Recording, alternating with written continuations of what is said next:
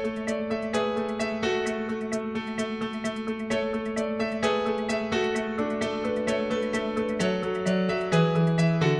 everyone, I am Suma. He is Prashant from Computer Science Department. Our game is titled as PyGalaxian game. We have used Python as programming language and Pygame module. Coming to the introduction, as a player starts the game, he should constantly shoot and dodge to save themselves from the blow of asteroids. If asteroid hits the player, the health bar decreases and if the player hits the asteroids, the score increases.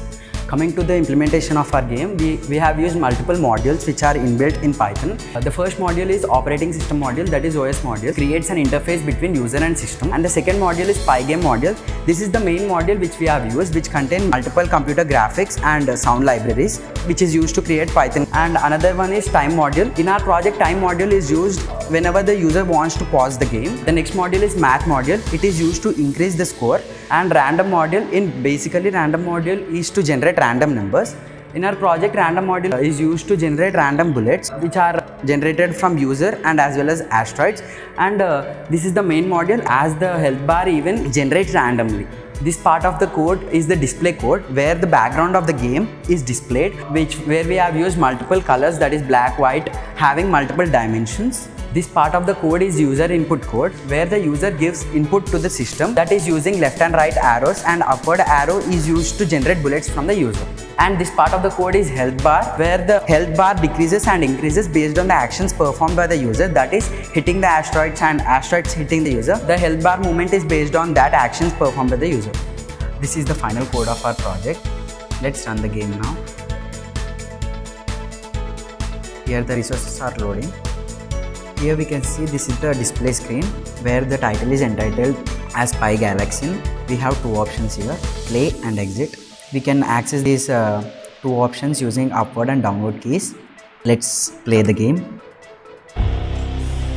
Here you can see the user is uh, attacking the asteroids and asteroids are attacking the users. Uh, here the health bar decreases as the asteroids hit the bullets to the user. As you play the game, the score will be increased and the multiple types of hit the to the user. As you can see now, there are two types of asteroids approaching the user, decreasing the health bar and uh, health kits also being randomly generated. As you can see on the screen, the health kit is being generated randomly when the user takes that, the health bar will be increased. As score increases, the difficulty level of the game increases, making the game more interesting. As you can see, the health is running out. As the health runs out, the game ends and the display screen is over here where we have the score is displayed and when you press the enter, we'll exit. Hello everyone, my name is Daniel. These are my friends Nikit and Rakesh. We are from CSE department. We have developed a game which is known as Noughts and Crosses by using Python. Along with physical games, people also like to play computer games. We have developed a computer game known as Noughts and Crosses which is played on a 3x3 grid. There will be two participants. Each participant is assigned with two symbols X or O. The winner of the game is the participant who covers first the horizontal, vertical or diagonal row having only their symbols. Actually the games look like this. We have two different symbols, one is cross and one is not. Next my friend will explain the implementation of this game. Now let us see the implementation of this game. Now we see the source code. Here we have used a module called Pygame. Pygame is a cross-platform set of Python modules designed for writing video games. It includes computer graphics and sound libraries designed to be used with the Python programming language. Here we are initializing the width, height and other parameters globally. We have created a window and we have resized the images to the required size. First it's extern, next it's outstern. The player who satisfy a winning condition at first will be declared as the winner. We see the second case.